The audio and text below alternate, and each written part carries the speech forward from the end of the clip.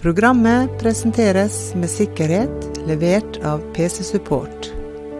Sparebank1 SMN og Møre Drift og Renhold.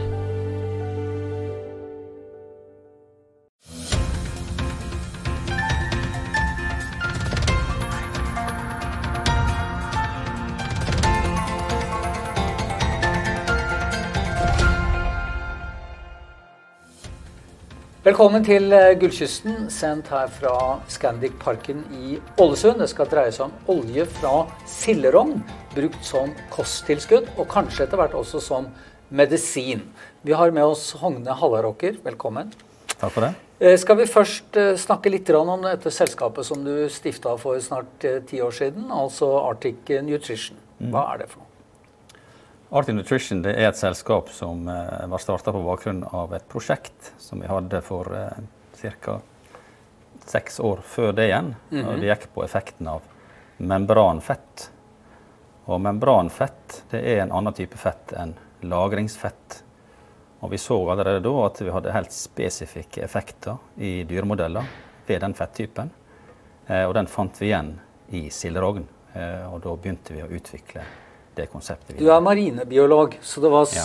på en måte sånn du kom på sporet av dette her, da.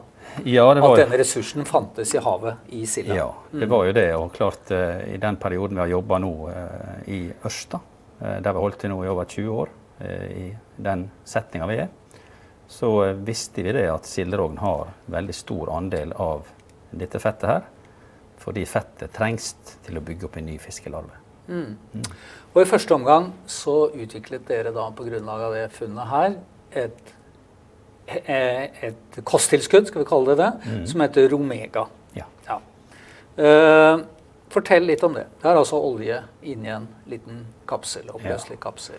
Romega er jo vårt eh, kosttilskuddsprodukt, eh, som vi da tar ut olje fra silderogn.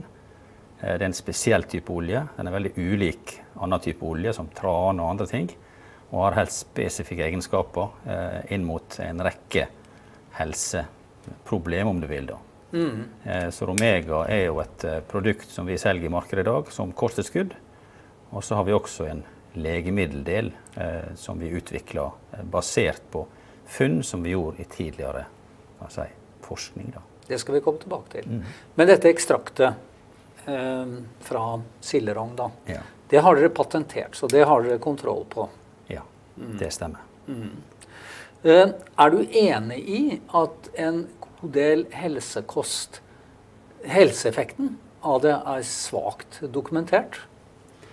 Ja, det, at det selger bra pga. heftig markedsføring? en del gjør nok det. Ja. Eh, samtidig er det veldig mange kosttilskudd som, eh, som har god effekt, og som er godt dokumentert. Eh, Bl.a. en hel rekke vitamin. Eh, folat, omega-3. Eh, så det er, jo en, det er jo begge deler. Men klart, aggressiv markedsføring blir jo brukt eh, relativt hyppig, da. Men hvordan løser dere det problemet? Hvordan skal vi si, blir dere trodd i markedet? Nei, vi, jo, eh, vi liker jo å, å, å, dele ut produktet til folk som de får prøve sjøl. effekten av det, og så forteller de sine venner og sin nabo om effekten, og så får vi en markedsføringsgevinst av det, da, eh, som vi mener kanskje er den beste og den mest bærekraftige. da, Jungeltelegrafen. Jungeltelegrafen. Ja.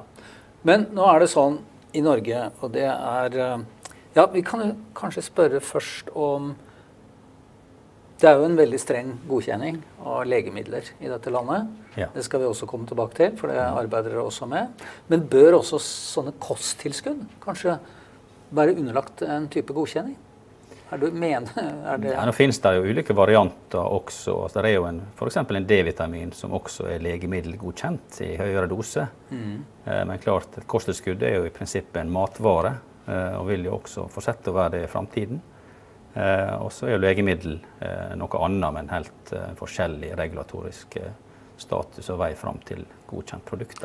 Ja, Men for konsumenten, for de som sitter og ser på nå, vil din anbefaling være da å kjenne litt etter? Virker dette her, eller virker det ikke? Ja, det er også. Det er jo selvfølgelig placeboeffekter og sånne ting. Så en ønsker at ting skal virke. Men eh, vil jo anbefale folk å gå inn i eh, forskningsarbeid og se på hva som er gjort. Eh, vi driver jo en hel del eget forskningsarbeid. Rett nok på det produktet vi ikke selger i dag, men det er jo legemiddelproduktet vårt. Eh, så vi anbefaler folk å, å kikke sjøl eh, og, og, se eh, hva som finnes, for det finnes veldig mye forskning der ute, også på en hel del kosttilskudd. Mm. Nå er det sånn i Norge at det er ikke lov å si hva helsekostprodukter spesifikt virker for. da. Det skal være godt for hjerne, hjerte og det var en ting til som sto på Romega, syns jeg husker. Øye. Mm. Øyesynet. Mm. Eh, men det vi kan si, det er jo at eh, et spesielt ekstrakt fra denne oljen, fra silderogn altså, mm. hjelper mot psoriasis. At den demper betennelsen. Mm. Og dette dette har fått dere nå til å søke om å få dette ekstraktet da godkjent som legemiddel. Og da er dere på en måte over i en annen divisjon. Ja. Fortell litt om det som skjer der. Nei, Vi har jo et uh, legemiddelløp der vi uh, har laga et spesielt ekstrakt av uh, silderogn. Som vi har testa ut på Haukeland universitetssykehus og fant positiv effekt. Mm. Slik at nå forsker vi videre på det og kjører enda større studier for å kunne få en såkalt markedsføringstillatelse mot psoriasis som indikasjon. Mm. Og psoriasis er jo den første indikasjonen vi går mot med eh, vår, vårt ekstrakt. Eh, mm. For det er jo også andre muligheter, eh, ser vi, når vi ser på hva type eh, resultat vi får av blodprøven. da. Vi skal ta det etter hvert. Det er noen vanskelige begreper her. Vi beveger oss inn i medisinens verden. Men det er en overlege på hudklinikken på Haukeland som heter Kåre Tveit. Og han har vært ansvarlig for uh, denne undersøkelsen. Publiserer en artikkel nå, og den blir ganske så positiv. Ja, det, det blir den. Og Kåre Steinar Tveit han er jo vært helt essensiell for oss. Ja. Uh, I den forskninga vi har gjort uh, på hudavdelingen på Haukeland i Bergen. Eh, og den artikkelen blir publisert eh, nå, forhåpentligvis, i slutten av måneden. Mm. Han skrev et sted, og da skjønte jo jeg også hva dette dreide seg om, at det var som å dimme et lys. At psoriasisen trakk seg langsomt tilbake over ganske mange uker. da, Vi snakker ja. om flere måneder. Kanskje opptil et halvt år. Det er riktig. Det er et uh, stort organ, mm. uh, så det tar tid uh, for produktet å virke i, i huda. Ja. Og så er dere også i gang med en stor europeisk undersøkelse. Ja, det blir 400-500 psoriasispasienter? Det er jo fortsettelsen av det som vi starta på, eh, rett nok med et nytt produkt. Ja. Eh, som vi da skal eh, teste i større skala. Der vi har en 400-500 eh, pasienter som deltar i den studien. Da. Den er en europeisk studie. Multisenterstudie. Mm. Ja. Det er mildt sagt et stort potensial for et sånt legemiddel, hvis det blir godkjent og fungerer etter hensikten. Mm. Det er altså 150 000 mennesker bare i Norge som lider av psoriasis. Det stemmer. Hva er potensialet her? Eh, potensialet er jo eh, Det er ca. 2-3 av jordens befolkning som har psoriasis.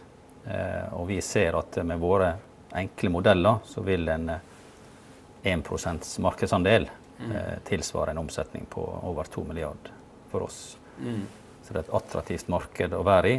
Eh, spesielt siden vi eh, mest sannsynlig blir de første som kan tilby eh, systemisk behandling, som det heter da, på pasienter som har mild psoriasis. Mm. Som i dag kun har kremmer tilgjengelig. Psoriasis er en såkalt autoimmun sykdom. Dvs. Si at altså kroppen angriper seg selv. Eh, og det finnes en lang rekke sånne sykdommer. Det gjør det. Eh, helt opp i 80. Eh, og betennelsesreaksjoner er jo en stor utfordring i, i helsepleien, og, og, spesielt mot kroniske lidelser. Så vi ser jo et potensial inn mot uh, veldig mange av disse her autoimmune sykdommene. da. Gikt? For eksempel. Astma? For eksempel. Ja. Veldig mange. Mm. Mm. Eh, så dette produktet, dette ekstraktet fra silderom, det kan altså da muligens da virke også mot andre typer sykdommer. Absolutt. Ja. Absolutt. Da kan det bli stort. Da kan det bli stort, ja. ja. Men eh, til nå, i hverdagen, så strever jo dere Det har hatt betydelige utviklingskostnader. Mm. Det er jo ikke gratis å gjennomføre disse undersøkelsene. Nei. Det er ikke gratis å drive forskning. Nei. Beskriv, Fortell litt om de utfordringene du har hatt for å finansiere veien fram så langt. da. Nei, nå er jo vi så heldige at vi er på Gullkysten, da. ja. Eh, og, og investeringsselskapet ditt heter Gullkysten, faktisk. Ja, ja, Gold Coast. Var du Eh, heldig med. ja. Og så er det jo her på, på våre kanter så er jo entreprenørånden veldig stor. Mm. Eh, og eh, vi har jo regionale investorer i vårt selskap. Eh, det er jo folk som har eh, gjort sine penger på offshore, fiskeri og andre ting. Som ser at eh, eh, det som vi holder på med, er noe helt nytt. Noe spennende som ikke har vært gjort på Sunnmøre før. Og ønsker å være med og bidra på det. Mm. Eh, når det gjelder utviklinga som vi har gjort da, med forskning, så har det kosta mye penger. Men vi har som sagt en kosttilskuddsdel der vi selger produktet vårt i inn- og utland. Og det er det som på en måte bærer drifta i selskapet i dag. Da. Men samtidig så er det et, litt tid igjen før vi, før vi har svarte tall. Da. er det som økonomene kaller for kryssubsidiering. Det. Altså vi bruker inntekter fra kosttilskuddet for å finansiere utviklingen av legemiddelet. Ja, delvis i alle fall. Ja. Nå skal vi også eh, funde opp eh, legemiddelsatsinga nå, da. Mm. Vil du si at uh, dere er avhengig av at dere får denne godkjenningen for legemiddelet for å overleve økonomisk på sikt? Nei, så vi lever jo i dag på, på kosttilskuddssatsinga vår. Mm. Eh, så hvis det, det feiler med legemiddelsatsinga, så er ikke vi eh, ødelagt av den grunn. Nei. Nei. Men når regner du med å ha et svar på hvorvidt dere vil få en godkjenning for dette legemiddelet? Nei, Det er jo en, eh, en prosess som tar tid. Ja. Eh, og eh, vi ser jo at eh, en fireårstid vil vi nok måtte bruke.